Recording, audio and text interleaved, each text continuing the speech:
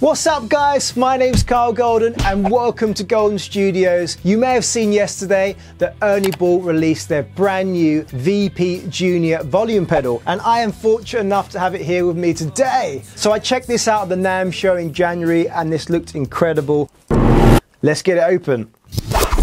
So when you first open it up, you've got your instructions.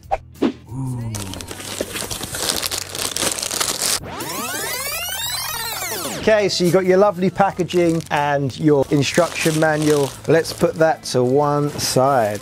It comes in four different colors, so I've got the black one here. You can also get the white, silver and red. The idea of this pedal is to maximize the space on your pedal board. So this is a combination of a tuner and a volume pedal. Let's get this bad boy plugged in and look at some of its features. This pedal has an advanced definition touchscreen tuner and graphic volume display. There is lots of options for frequencies when tuning if you double tap anywhere on the lower half of the touchscreen when the tuner is displayed.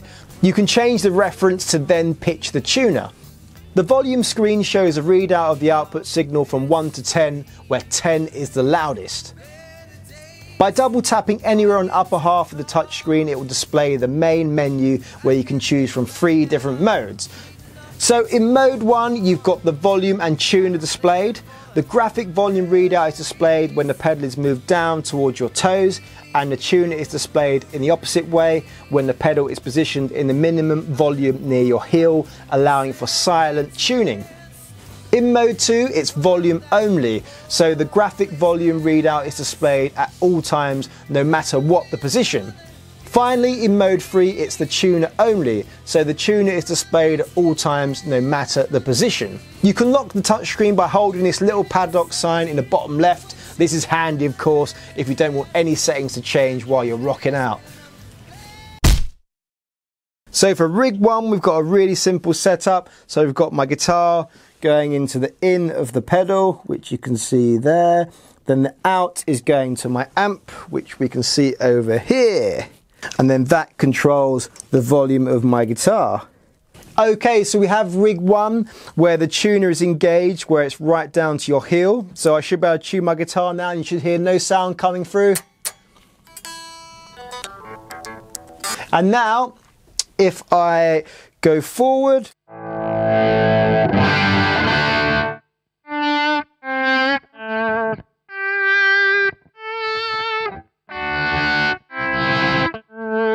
So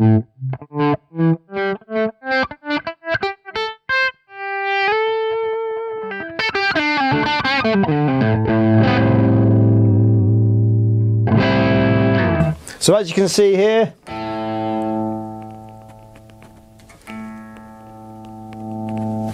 and that is rig one.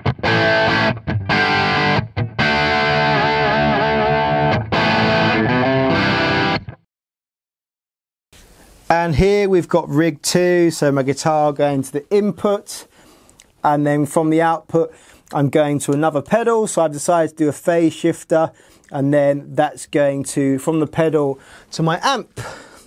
So here's rig two. Got the tuner on, so it's down by the heel if we go forward.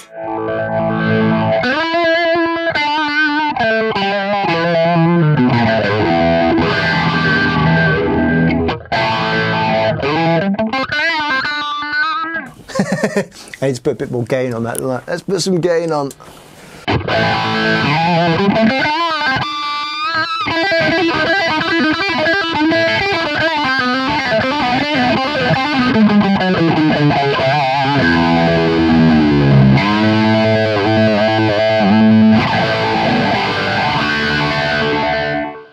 So as with rig one, it's basically the same apart from you've got some extra pedals afterwards. And so anything after the volume pedal, you'll be controlling how much you'll hear that.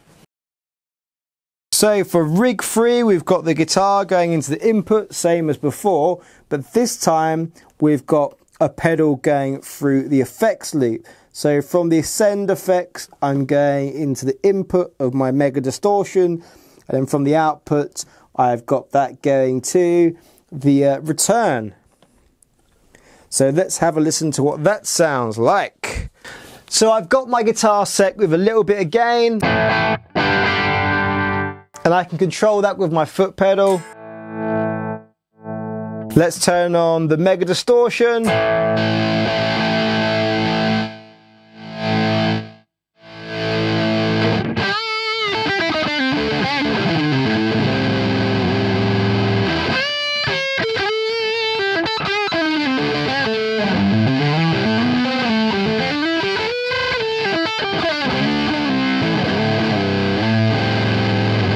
And that's your rig three. So another thing I want to add is how clear this screen looks. So if you're gigging live, that's great. how easy that is to see. This last fourth rig, which is probably my favorite. So as per all the other ones, the guitar is going to the in.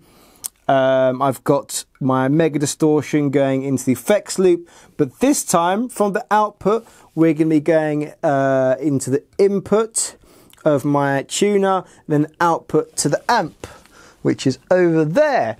So what this allows you to do is when um, you turn your delay on and you play a note and you turn this right down, the delay trail stays there and it sounds awesome. So let's give that a go.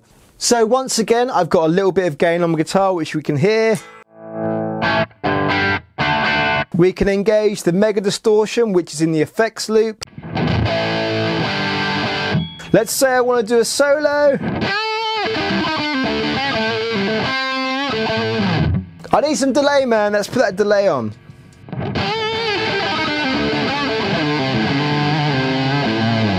But the cool thing is,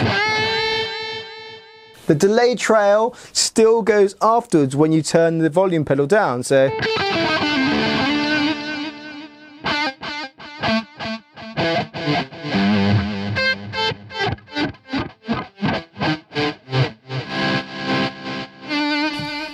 So you've got that nice bit of ambience. So that's the four different ways you can kind of wire up your Ernie Ball tuner and expression pedal.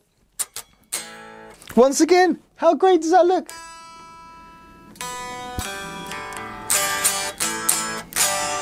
That's it for today guys. I hope you enjoyed this video and found it informative. In other exciting news, I've published my first book, which is this bad boy. So the Ultimate Guitar Scales book. It's available on my website as an ebook or on Amazon as an ebook if you prefer to get it on there.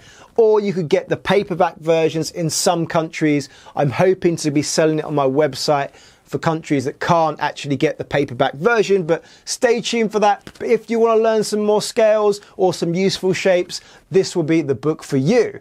I know it's been a long time in the making, but I'm going to be uploading the next part of the 100 riffs tomorrow, fingers crossed, or Friday. I'm hoping to get it all finished today after I've finished filming this video. So stay tuned for that as well. I truly appreciate all support. I know I've been very quiet over the last year, but that is down to the fact that myself and my wife have had a baby and I'm working out logistics of uh, being able to be a stay at home dad and do the YouTube at the same time. It's all going to work out good. It's going to be exciting. From April, I'm hoping to get out three to five videos a week, like the good old days. I thank you so much for sticking around. Um, I really do miss doing all these videos, and you'll see a lot more from my channel very soon. Take care, guys. Mwah.